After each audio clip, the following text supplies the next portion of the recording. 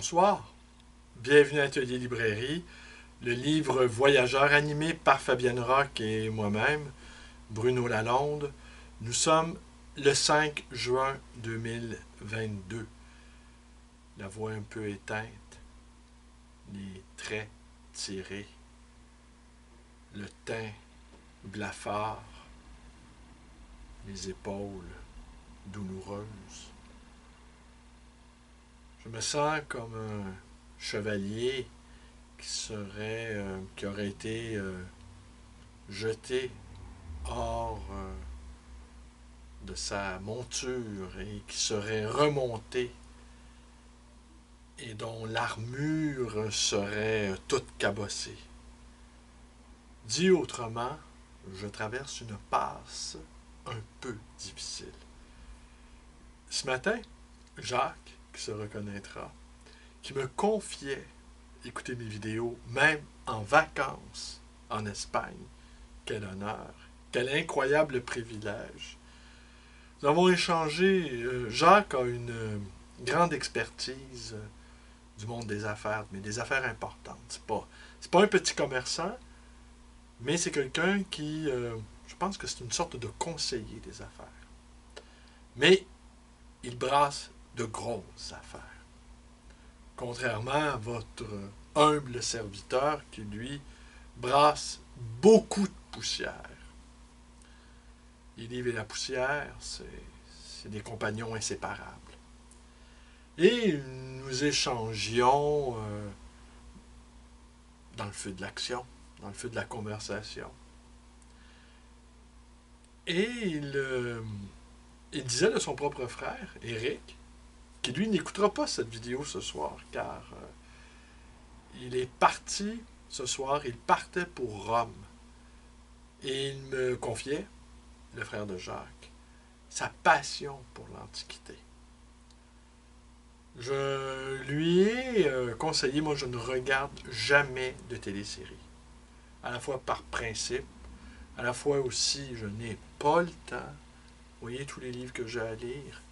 Mais ai, je, je lui en ai conseillé une avec le cinéaste Sorrentino qui a fait euh, La Grande Bellezza.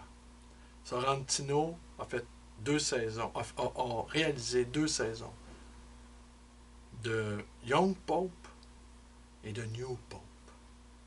C'est simplement prodigieux. Je... C'est prodigieux au niveau de la scénarisation, au niveau des images. Dans le cas de c'est Jude là qui joue un pape conservateur dans le cas de la première saison, qui joue un pape conservateur, qui fume, qui est torturé et qui veut, euh, euh, euh, réformer l'Église.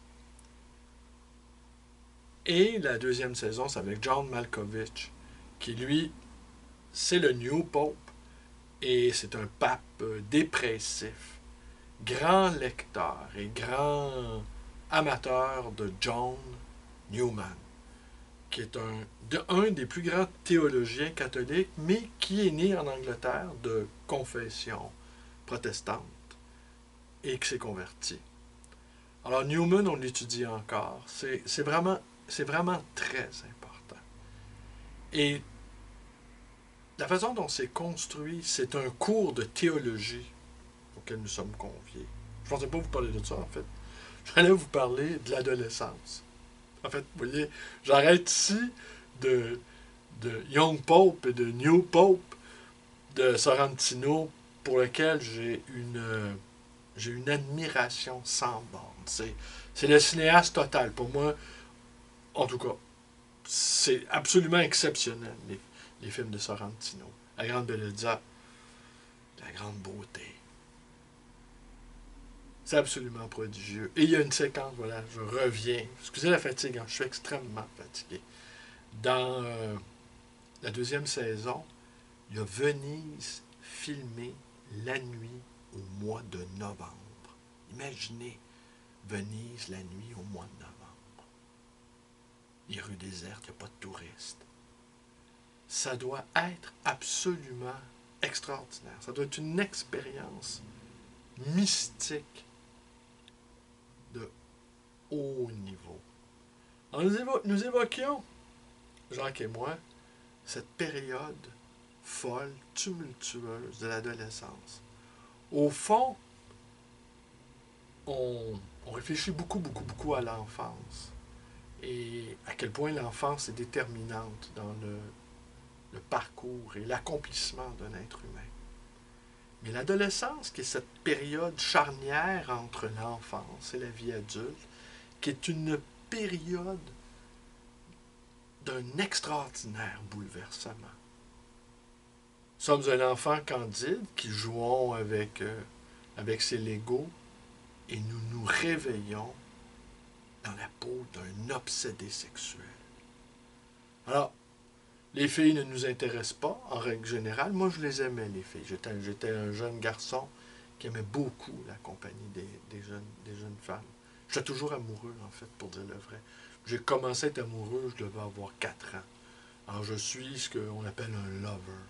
J'aime l'amour. Et enfin, et, euh, mais adolescent, je ne les aimais plus de la même manière. Je n'avais qu'une seule envie, c'était de les posséder sexuellement.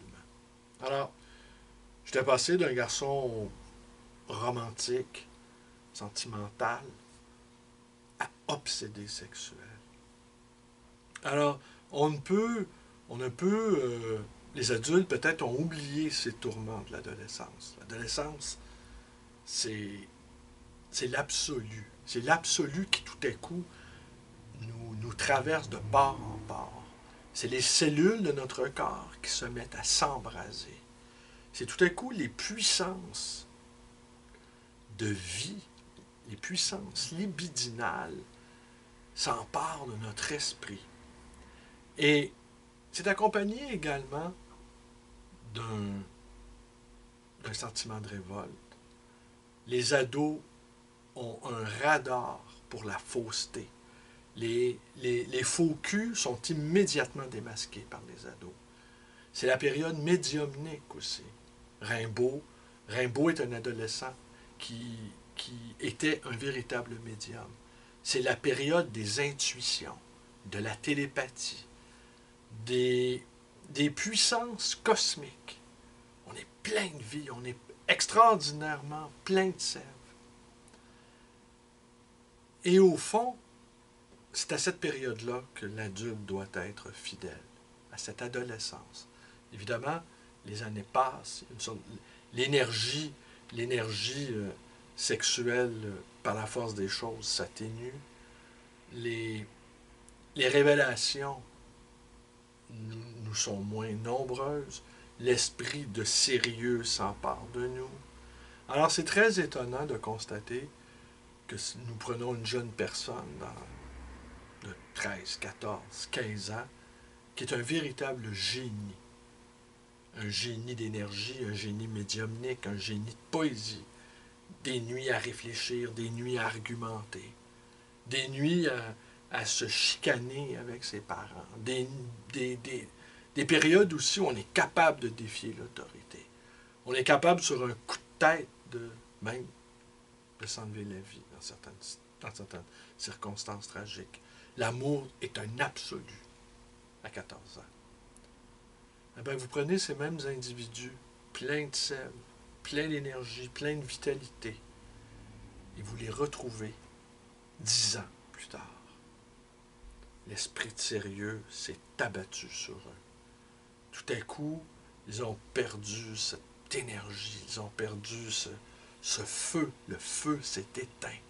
Ou il reste quelques braises ici et là crépitantes, mais qui vont bientôt mourir dans la normose, dans le désir d'être comme tout le monde. Et ça, c'est fatal. Au fond, c'est vrai que c'est un passage à la vie adulte.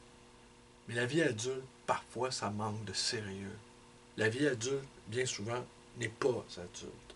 Et dans le volet le plus sombre de cette adolescence-là, il y a des adultes inaboutis, inachevés.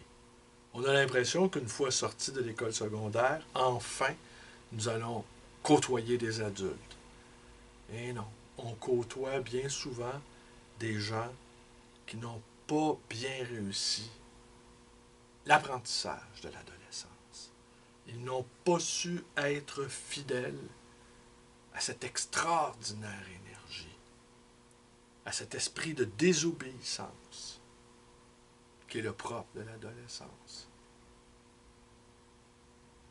Alors quand je veux tester où j'en suis rendu dans ma propre vie, eh bien, je fais comparaître l'adolescent que j'ai été, qui lui ne laissait rien passer, remarquait tout, avait l'esprit d'impertinence et d'analyse conjugué dans un même élan. Et là, je, j'appelle l'adolescent que j'étais et puis je dis Comment tu le trouves, celui-là, là, avec ses lunettes et qui n'a plus de cheveux sur la tête, avec ses vestons qui met seulement quand il fait ses vidéos? Est-ce que c'est un plaisantin? Est-ce que c'est. Est-ce qu'il est vraiment authentique? Est-ce qu'il est transparent?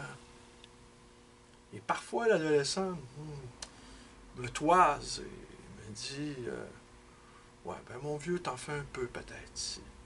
Ou peut-être euh, tu te gardes des cartes dans ton jeu. Ou encore, euh, t'es peut-être un peu trop pusillanime. Peut-être un peu trop frileux. Et cet adolescent-là me pousse, me rappelle combien il est nécessaire d'être fidèle à cette période-là. Et aujourd'hui, depuis dix jours, vous le savez, il y a d'autres épreuves que je traverse en ce moment. Eh oui. Vous savez aussi, les ennuis viennent en série, n'est-ce pas? Et c'est pour ça aussi qu'on vit en paix. Parce que si, à un rythme régulier, nous avions des ennuis, nous ne, trouvions, nous nous ne trouverions la quiétude d'esprit, nous redouterions toujours le prochain mauvais coup du sort. Alors là, c'est une séquence un peu difficile. Mais je suis heureux. Je suis heureux. Je suis heureux. N'ayez crainte, je suis heureux. Je suis heureux et, euh, et intéressé par voir comment je vais me sortir de ce mauvais pas et comment le, mon, mon, démon adolescent me souffle comment réagir. Lui, il en savait des choses, ce démon adolescent. Et là, je, l'invite dans ma propre vie à, me souffler les réponses, à me rappeler combien la vie, elle est extraordinairement intéressante à observer.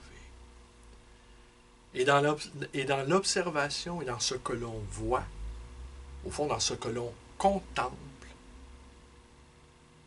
on trouve soi. Au fond, ce que l'on voit, c'est ce que nous sommes. Et, euh, et ce n'est pas extérieur à nous. Ce n'est pas quelque chose qui nous est étranger. Tout ce que nous voyons est nous. Alors, comment on va aborder ce. Comment on va. Faire sien ce regard que l'on pose sur les êtres et sur les choses?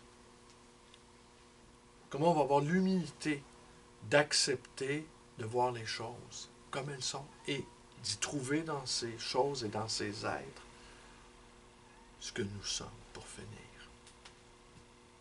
Fabienne qui m'observe avec ses beaux yeux verts me fait un beau sourire. C'est elle qu'au début, j'ai dit que j'avais les traits tirés, que j'étais un peu verdâtre. T'as pas dit verdâtre. T'as dit quoi? Je te blême un peu. J'ai l'air fatigué, ouais. C'est vrai que je suis fatigué. Alors, je suis tellement fatigué que je vais mettre fin à cette petite vidéo. Et euh, je vous remercie d'être avec moi. On ne sait de rien. Et euh, je vous invite à à ce que votre démon adolescent apparaisse dans votre vie et vous dise là où vous en êtes avec votre propre vie. Merci et à demain.